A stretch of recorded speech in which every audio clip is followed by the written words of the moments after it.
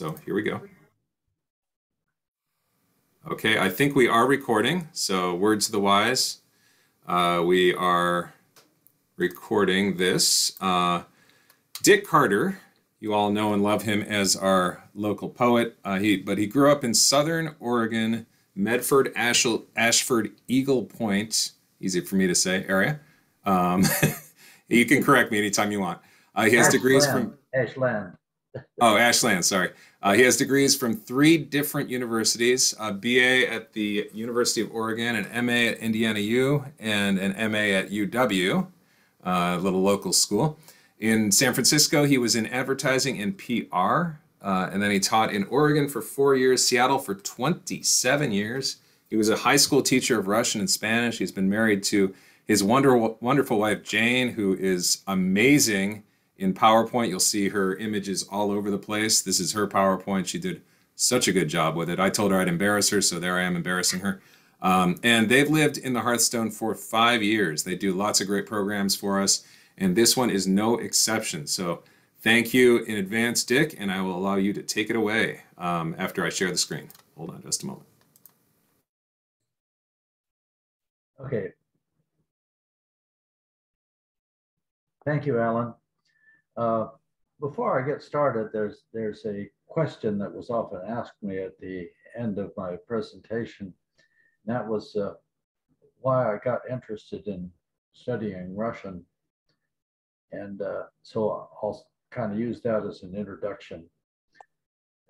Uh, it was in the 1950s, and I was living in San Francisco, and it was the height of the Cold War and I was feeling especially uh, helpless.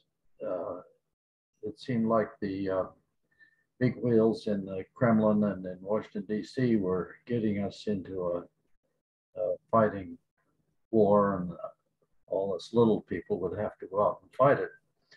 So I thought, well, uh, Canada and America, uh, United States, have been at peace for all these many years, and one thing that helped that peace is that we have a mutual language.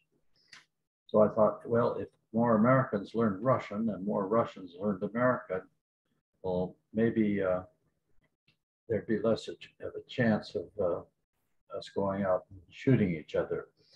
Uh, I, was thinking at the time just to learn the Russian for don't shoot would be a good start. Um, I've recently uh, had a book published called Russian Passages, and it includes uh, the pictures that you're going to see in this presentation. And in this presentation, I also show about 10 or 15 more pictures than what are in the book.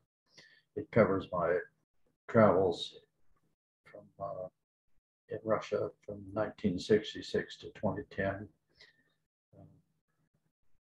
it doesn't completely cover them, but uh, hits the highlights. Now, I'd like to show you a map of Russia so you can get an idea of what we're talking about.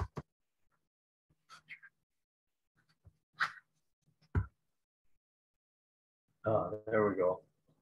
Uh, this up here is St. Petersburg. And when I first started traveling to Russia, that was called Leningrad.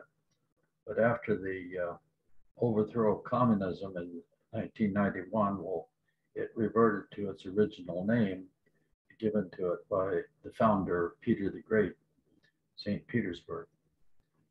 And he wasn't thinking of naming it after himself, he was thinking of naming it after his patron saint. Then uh, down here is Moscow. And this was a uh, is a, an overnight train ride. The train goes a little slow in places to time it so people get a good night's sleep on the train. Uh, I've also traveled to uh, the coast of the Black Sea and up into the Caucasus. You'll see some pictures of that. And over to Baku on the Caspian Sea, that's down here. And then uh, our major trip that Jane and I took was all the way from Moscow, clear uh, on the Trans-Siberian Railway, hitting major cities like uh, Ekaterinburg, Novosibirsk, and Irkutsk, and uh, Lake Baikal, and Ulan-Ude, and then a long haul up over the, they call it over the hump, and down to Vladivostok. And from there, we flew home via Korea. And made kind of a round the world trip of it. Uh, in 1966, I was uh, teaching Russian at a junior high school in Medford, Oregon. But I was offered the opportunity to attend Indiana University on a uh, uh, government scholarship uh, that was offered to teachers of, of Russian. And of course, I, I leaped at the chance.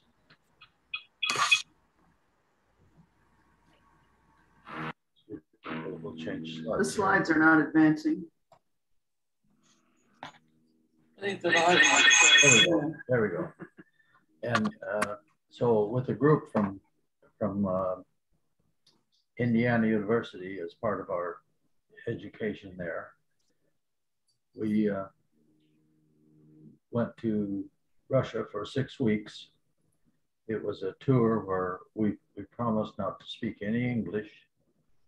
And uh, the, the way the work it worked is in the mornings we would uh, go on the traditional tour of the city and, and see the uh, the most famous tourist sites of that city. And in the afternoon, we were free to go out and uh, visit with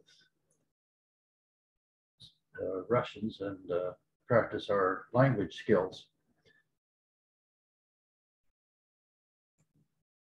Uh, anyway, this is myself on the left and uh, my friend George Fletcher on the right and uh, a young lady, Russian, in the middle. And one thing we learned that uh, they wanted was when we wanted to talk to them and when they learned we were Americans, they wanted to talk to us, is that you couldn't do it inside any building where there might be microphones or eavesdroppers. You had to go outside into a park or like you see here outside this building where you could see that uh, there was no microphones and no one was listening.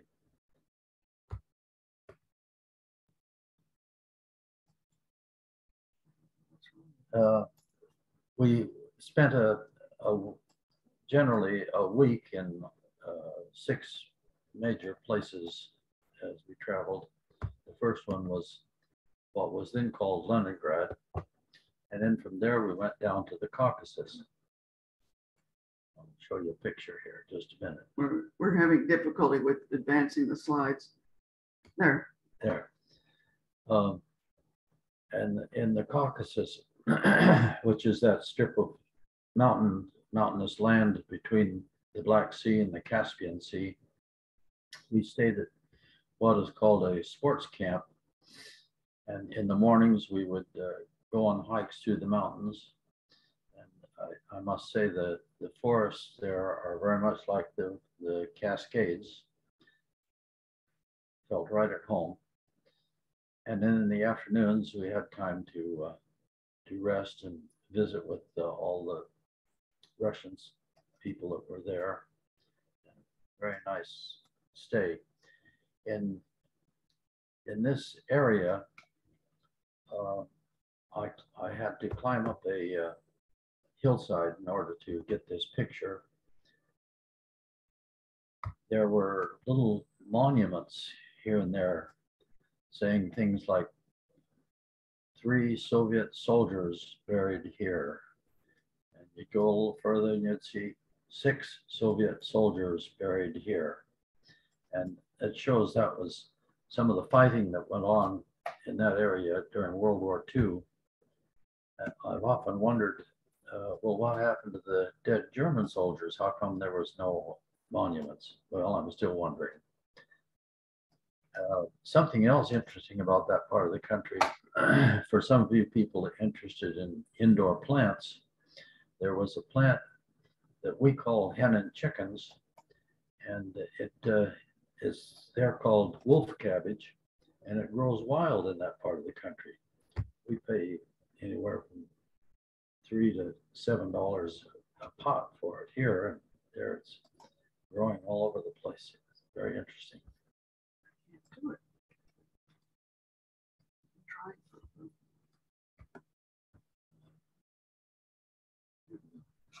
There we go. One of the hikes we took was uh, up to a glacier. This was about uh, oh, five miles from where we left the bus. It was interesting that uh, in America, when you have to walk five miles back into the woods, you don't see many people, just a few hardy hikers. But uh, there, I remember this one lake we went past and, and uh, the shores of the small lake were packed with Russian hikers. It was nice to see so many people enjoying the great outdoors. We came to this glacier and it was quite a change from walking on a glacier in America. In America, you have all kinds of equipment like crampons and ice axes and ropes and sometimes ladders and things. But but uh, there, there was no thought of all that stuff. It was just uh, we wore our tennis shoes and we jumped across the crevasses. Uh, it was an interesting hike.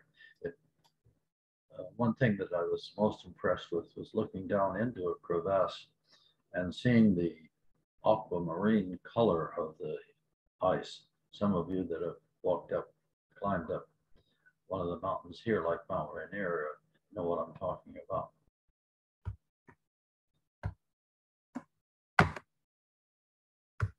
Uh, there was a uh, 19 year gap between this trip with Indiana University and my next trip. And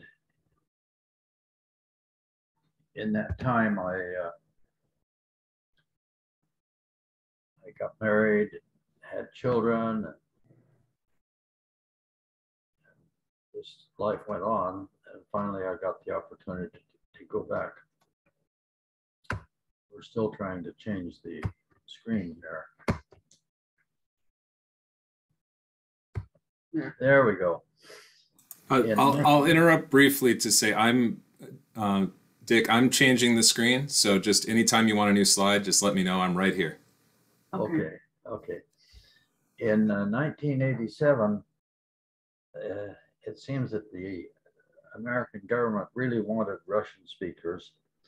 So they, uh, they gave fellowships to uh, 25 American teachers of Russian to go to St. Petersburg.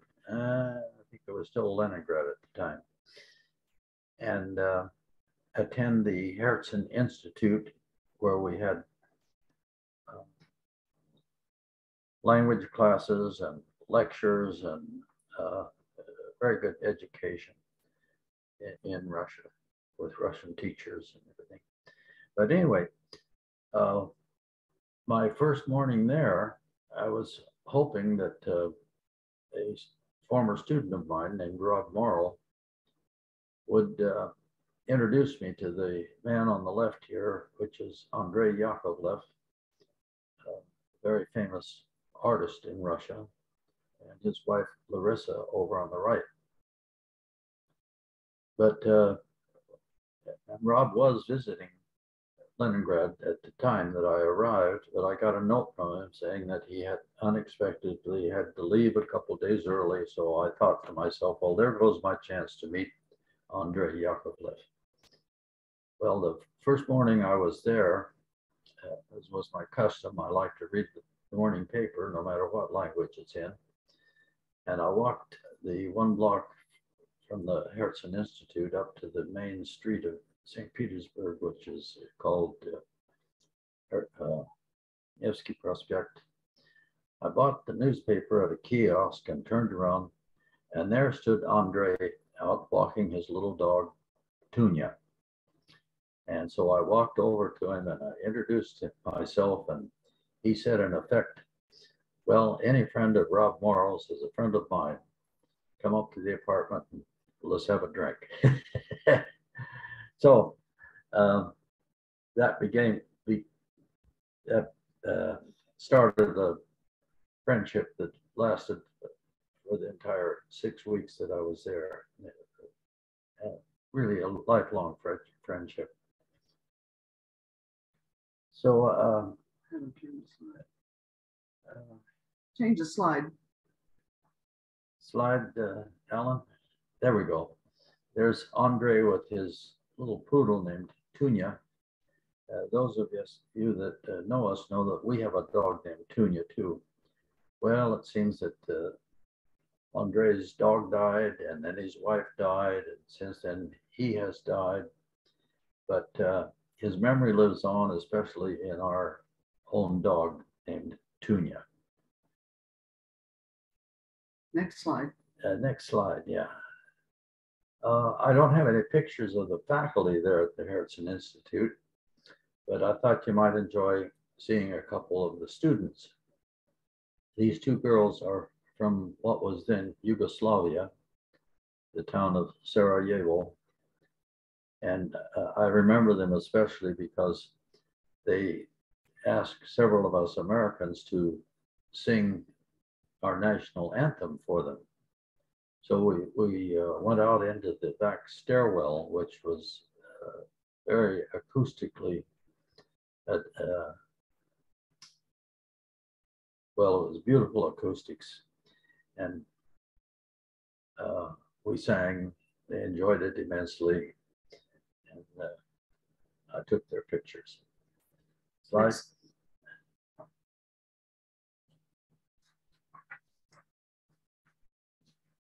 Uh, part of the 1987 trip. Th- This was an exchange that had been arranged by uh, Gorbachev and uh, Ronald Reagan, in which uh, 25 American teachers of Russian uh, were invited to study in Russia, and 25 Russian teachers of English were invited to teach in America.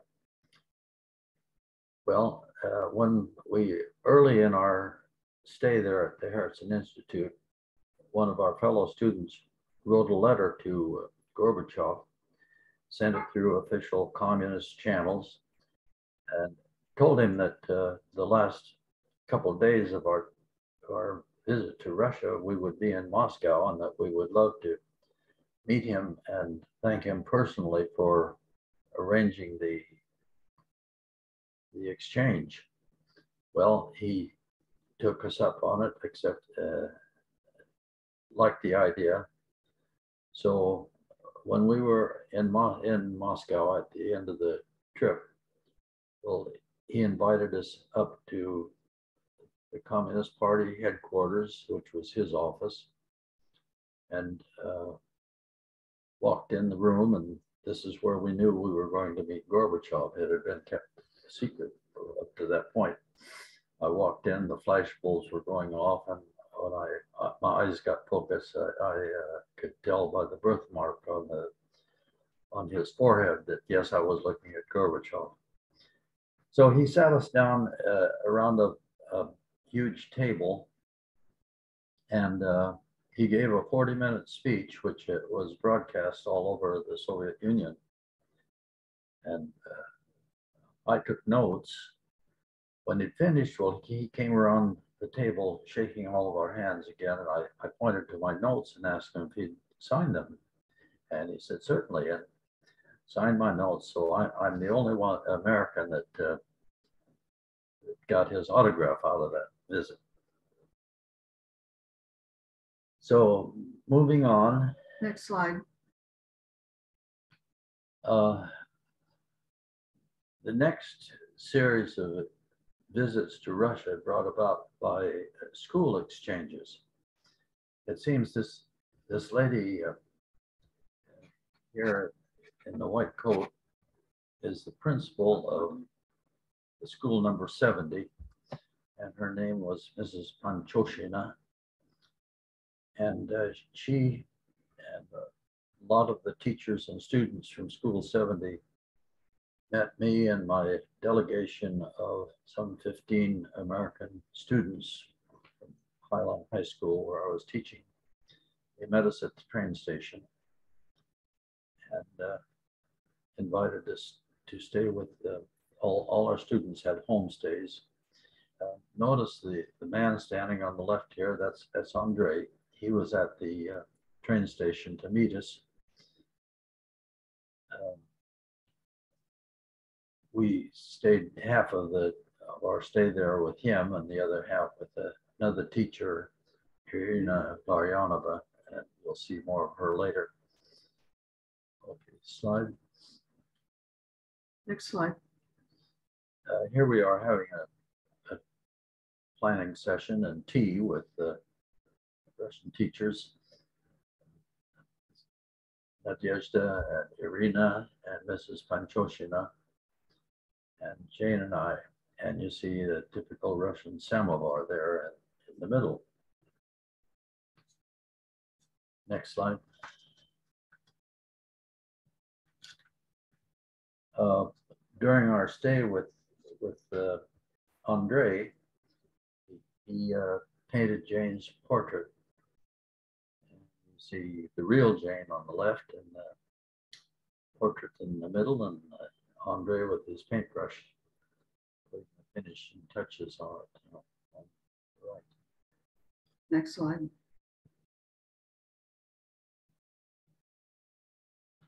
Uh, part of the exchange agreement with school number 70 was uh, that we would send our teachers there for homestays and uh, visits to the school. And then in return, they would send an equal number of students to us. And so this is um, Irina, who uh, was chauffeuring the, uh, she was chaperoning the group of Russian students. And she arrived at the airport and brought Jane's portrait. We would have brought it ourselves, but Andre wasn't quite happy with it, so he wanted to keep it a while and finish it. Next slide. Uh, after the school exchanges, we had three of them. Uh, we had exchanges of, of uh, church nature. Uh, the uh, parish that uh, my church, St. St. Mark's Episcopal Cathedral, uh, partnered up with was called the Church of Kulich and Pascha. And the pastor, Father Victor, is right there in the middle. And behind him on our right is his son, Georgi, who since this picture has taken, it was taken, he has become a priest himself and, and he's slowly taking over the duties that uh, his father had had. And I wanted to show you that the lady in the white coat here, that's Nadezhda Vasilievna Kolesnikova. And she was our trip arranger and guide and interpreter and general helper on all these church exchanges. We owe a great debt of gratitude. Okay, next slide. Next slide. Uh, there she is now. She's, uh, we're at what they call the, uh, the Summer Palace. And she's um, giving a talk about the palace. You See her in a typical pose. She became a good friend. Next slide. Now, Kulich and Pascha has strange architecture. Uh, the, the main part of the church is on the left here and it's cylindrical shaped.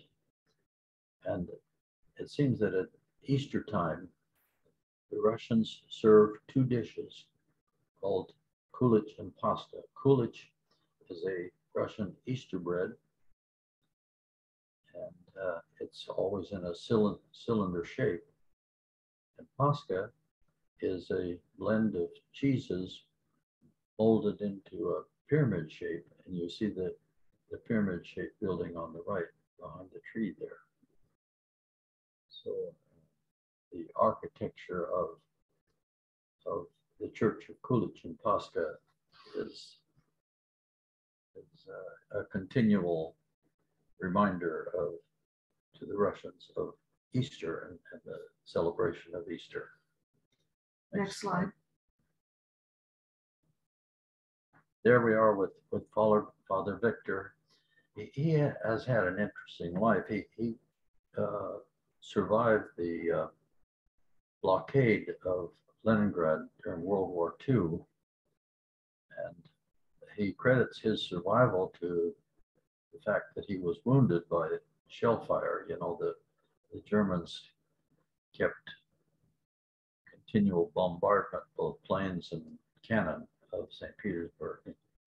So having been injured by shell fire, he was put in the hospital and he credits his survival to that because they gave better food to the patients in the hospital, better than what the people on the outside were able to get. Next slide. Uh, the uh, most venerated icon at the church of Kulich and Pascha is called the Icon Mother of God, Joy to All Who Sorrow.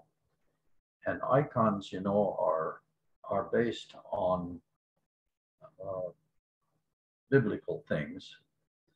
And this is uh, based on a, a passage from Matthew where they talk about feeding the hungry, visiting the prisoners, curing the sick, and so forth. And they've put the Holy Mother right in the middle of the of the picture there. Well, Jane and I uh, fell in love with this icon and its story, and uh, so we commissioned one to be made for ourselves. It's one of our Next slide. prize icons. And this is Anna Tyulnieva, and she is actually painting our icon. She sent us this picture afterwards.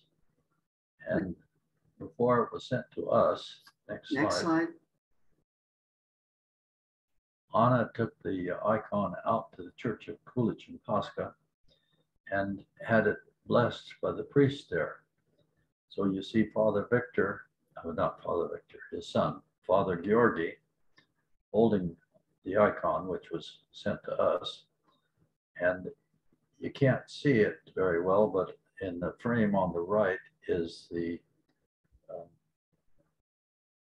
same icon, which is The original.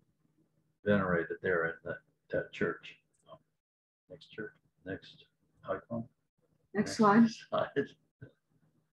Okay, one of our things that we did when we went on these uh, tours, uh, uh, pilgrimages, was to uh, give out vegetable seeds.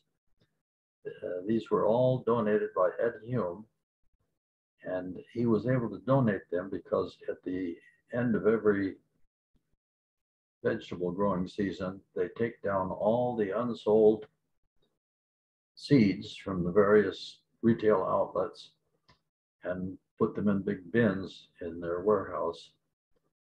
And they're free for anyone who will take them out of the country. And so here we are, when we brought them to Russia, they were all in uh, separate bags. Here was a bag of uh, string beans, and here was a bag of carrots, and here was a bag of turnips, and so forth. So we wanted to give these away to all the parish partners that we had there, and also to a monastery, which I'll talk about in a little bit. But we didn't want one church to get all, all of one kind and another church to get all of another kind. so we had to divide them up and put, put them into uh, variety packs, so to speak. You, you see us doing it there. Next slide. Uh, This is one of our American friends, uh, Ib Rawson, who went with us on the trip. And uh, he loved to give away seeds. He, he would, uh, no matter who he met, uh, whether the people spoke English or not, well, he would ask them if they loved gardening and, and he would give them a packet of seeds and he would explain all about it. And nine times out of 10, the person he was talking to didn't speak any English, but that didn't stop him from explaining anyway. He was a great asset to our delegation. Next slide.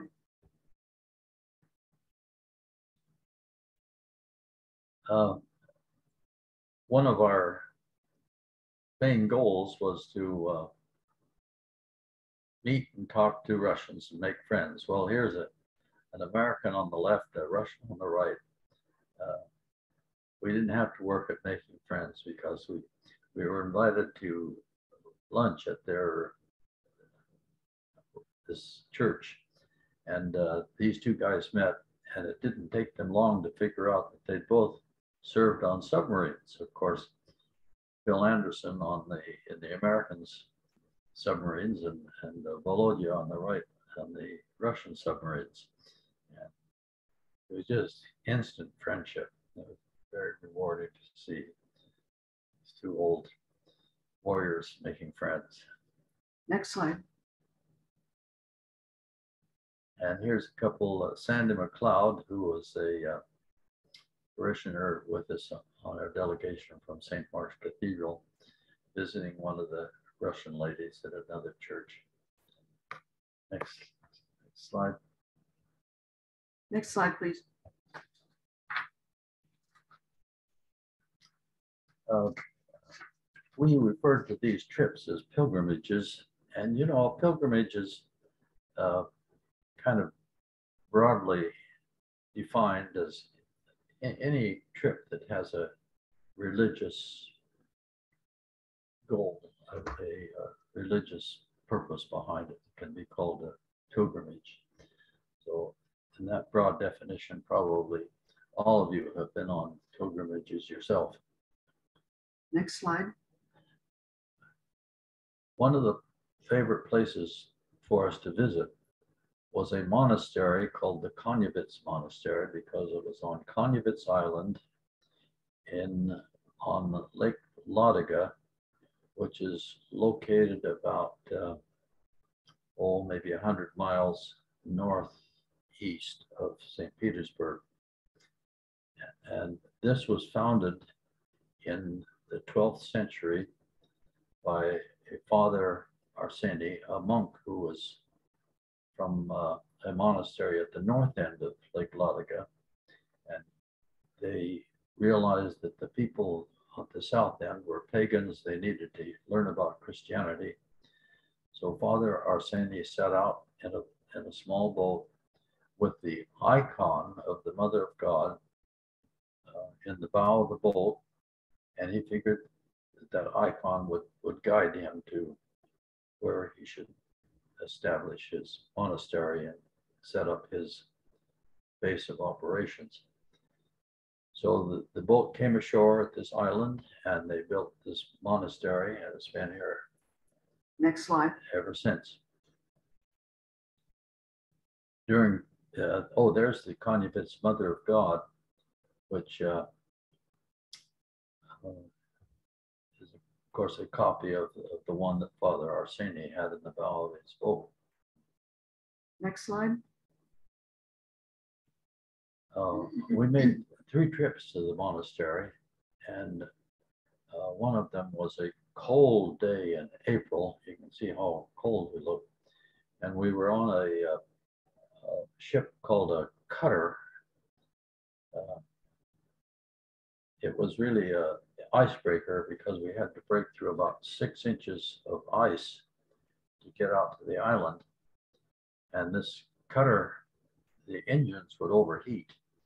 And so they'd plow into the ice and go about 50 yards, and then the engines would overheat, and we'd have to stop, let the engines cool off, which didn't take too long at that those cold temperatures.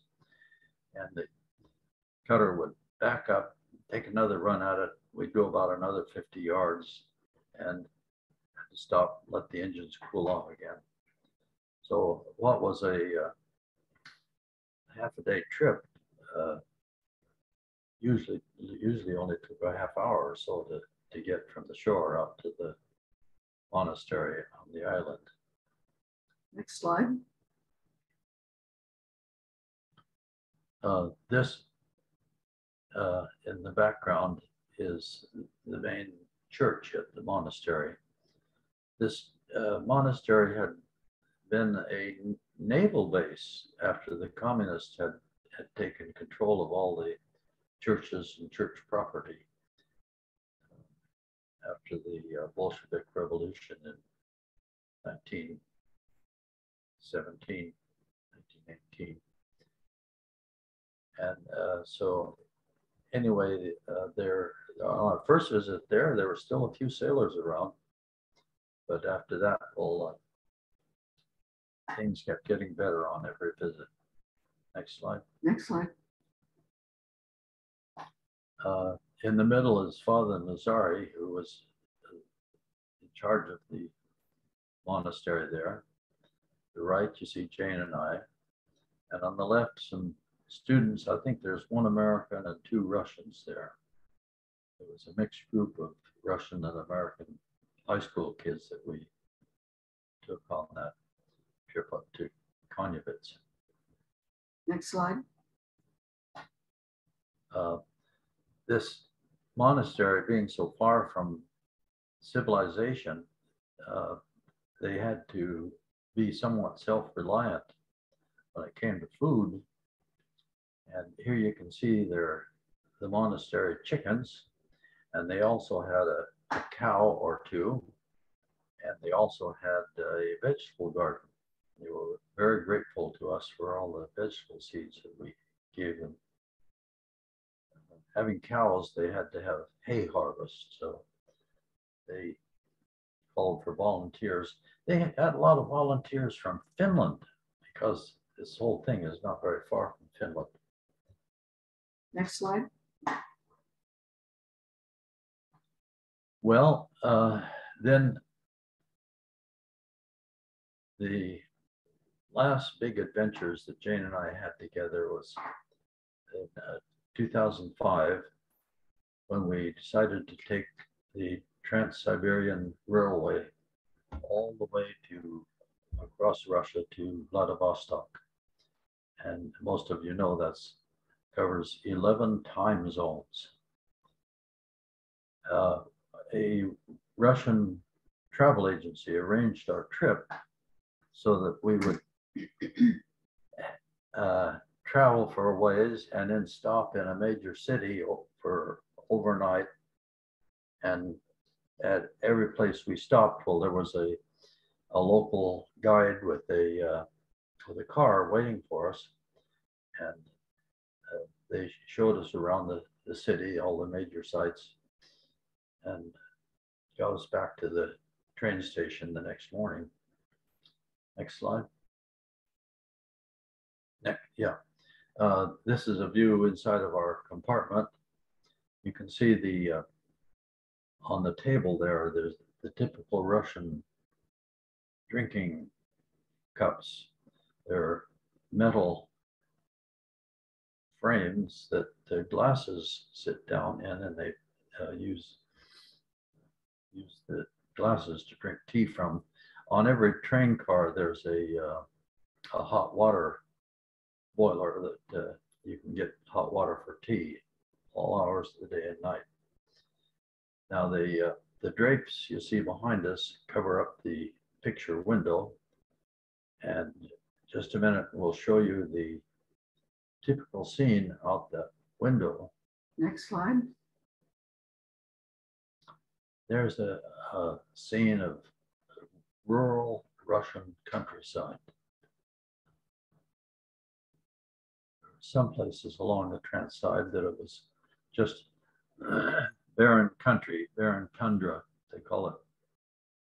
But, uh, mostly in the western part of Russia will villages with their houses spread out like this. They all had their own gardens and fences and animals. Next slide. Interesting. Um, this city that we visited was Ekaterinburg. And this church is built on the site where there was a house where the Tsar and his family were imprisoned for a while in 1918 before they were led down to the basement and assassinated. And so uh, years later, they, they built a church on the, site of this terrible tragedy. Next slide. Uh, the next major city we came to was Novosibirsk. And it was raining that day. And so uh, most of what we saw of Novosibirsk was through a car window. But we did visit this museum of birch bark handicrafts. And we were very impressed with all the things that they made uh, hairpins and belt buckles and canisters. And next slide, we'll show you some canisters. Uh, there's food canisters made of birch bark that we bought there in Novosibirsk. Next slide. Uh, the next city was Irkutsk. And uh, you see here a monument to Admiral uh, Kolchak, who, even though he was an admiral, he was uh, the last leader of the White Army. Uh, you can see the, the uh, two figures on the pedestal. That's a Red Army soldier and a White Army soldier, and they're making friends.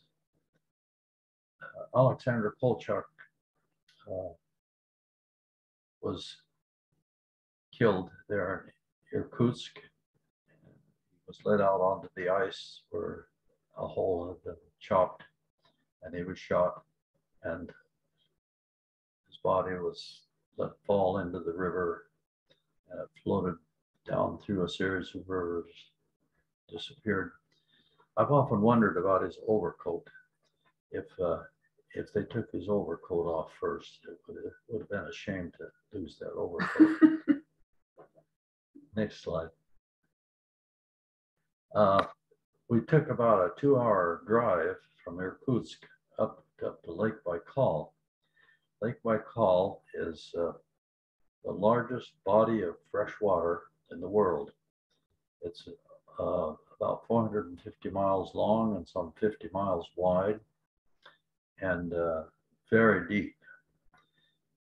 And we stayed at a, a bed and breakfast there, and they arranged for us to meet Alexei, you see in the picture here, and Alexei took us on a, a boat ride around the lake. Next slide. Um, at the outlet of the lake, there's this rock. It's called Shaman Rock because in ancient times before the coming of Christianity, well, this was where they conducted trials, trial by ordeal. And they'd take the accused person, the defendant, out and put them on that rock. And if they were still there the next morning, well, it proved their innocence and they were released. And if they were gone the next morning by action of waves and wind, then it proved they were guilty. And uh, life went on. Next But- slide. The next, next slide. Uh, here we are climbing, climbing up on the rock. Alex they didn't want us to do it because he said it was dangerous, but we had to do it. Next slide. Uh, on our uh, boat ride, we uh, went up the south end of the lake. And at one time, there was a railway running along the shore there. But the, uh, the communists built a dam and flooded parts of the railway, which uh, made it inoperable. and They had to build a new railroad because they built the dam. So next slide. Alexei left us off. We hiked up the uh, side of the lake and came to this tunnel, which was one time trains went through. Uh, tunnel to nowhere. There's a number of these tunnels along the south end of the lake there. Next slide. Uh, the lady in the middle was our host at the bed and breakfast. Her husband on the left and her mother on the right. Very good stay there.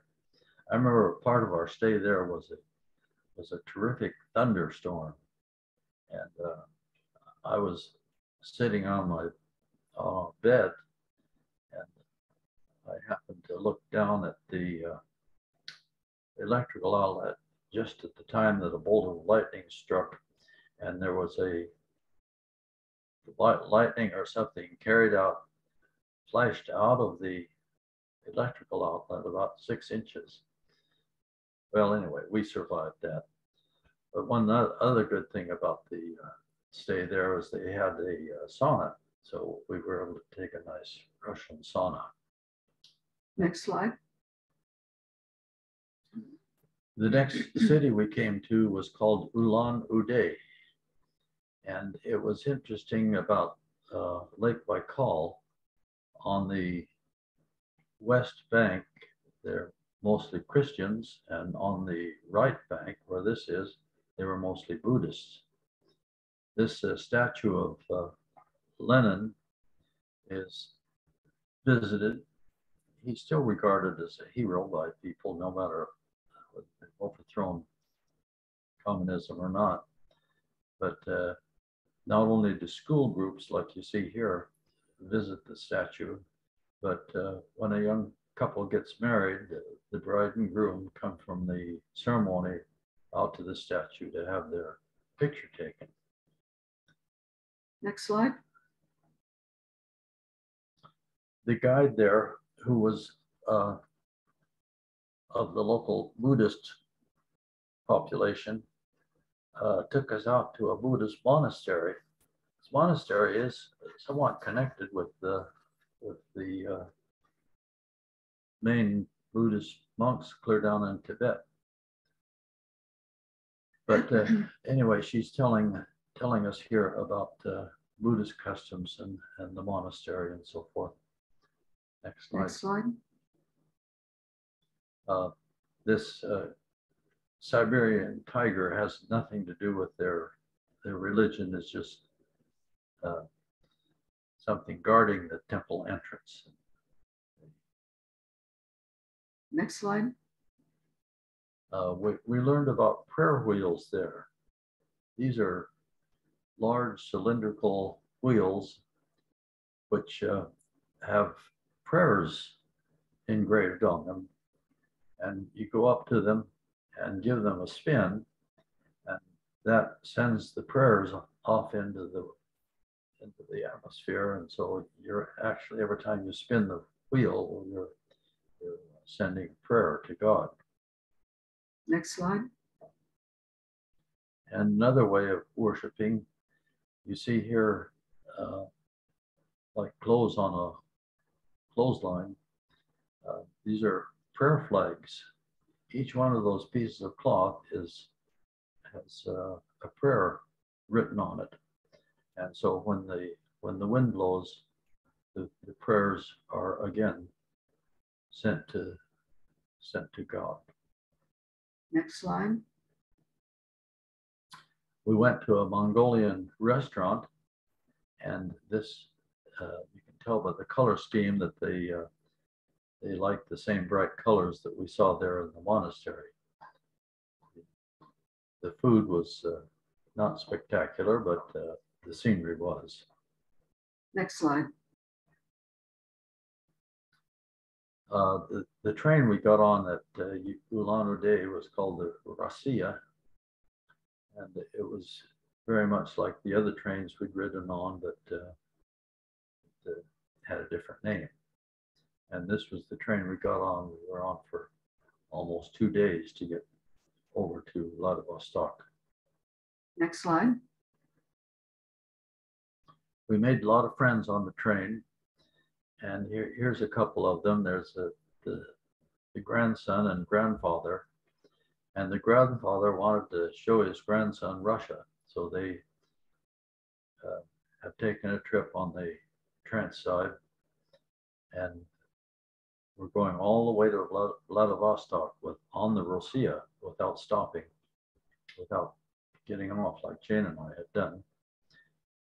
And uh, they were visiting some relatives there in Vladivostok, and they were then they were getting back on the train and going all the way back to Moscow. Next slide. Next slide. And here we are at the end of the line. We've traveled 9,288 kilometers from Moscow, crossed 11 time zones. And it's interesting that uh, in Russian, the, in Russia, the train schedules are all printed with Moscow time. So no matter which time zone you're in, if you're on a train, you're traveling by Moscow time. So it was a very, very interesting trip and uh, I recommend highly. I'm wondering, uh, uh, towards the, this, is towards the end of my talk, uh, if we have any questions or comments from some of you folks listening.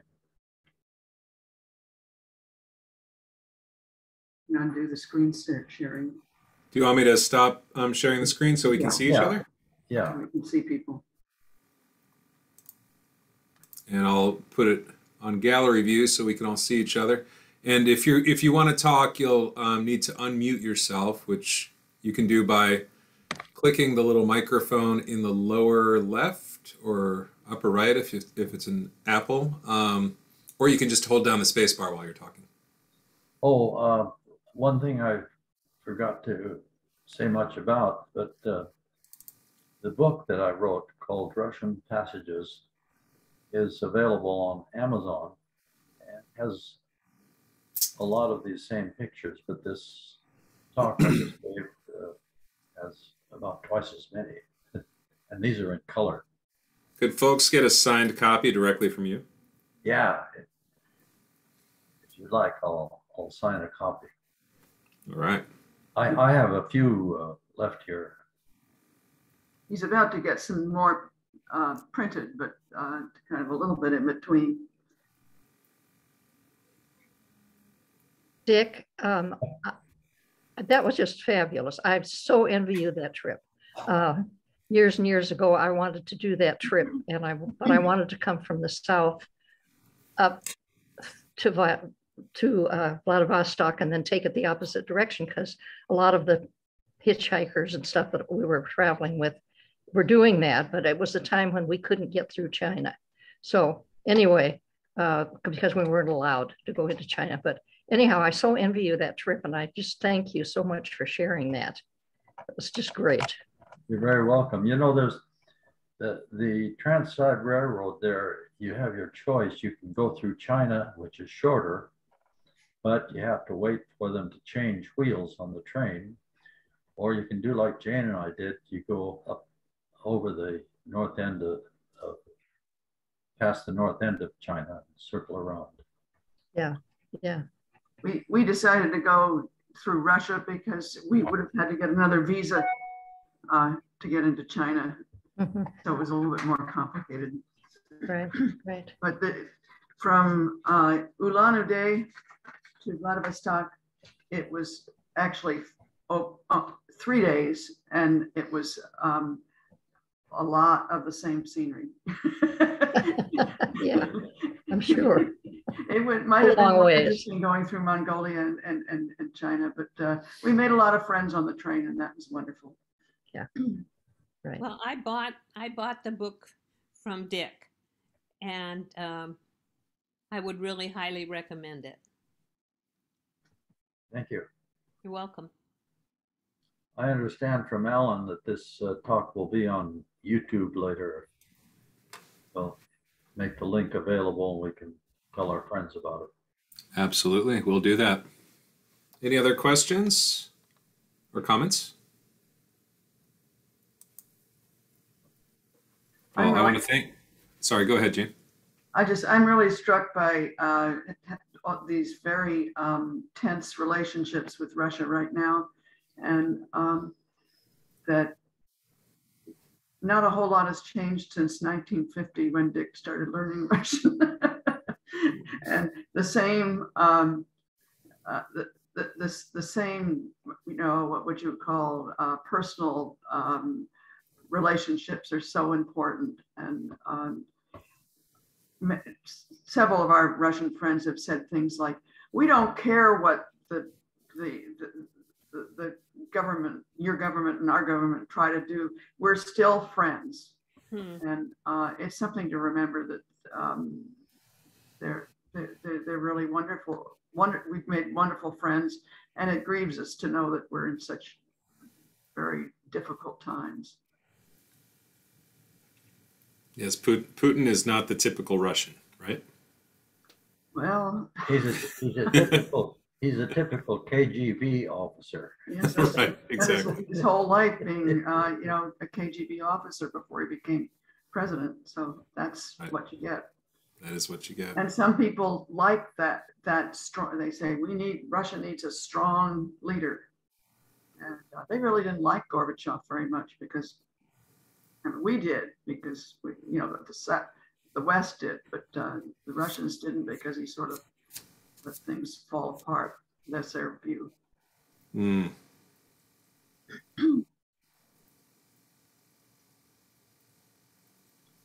What happened with Gorbachev was, was he, he just didn't send in the army when uh, the Berlin Wall started to fall. You people really criticized him for that. So some criticized him because he was too weak and others criticized him because he wasn't strong enough. Same thing. Same thing.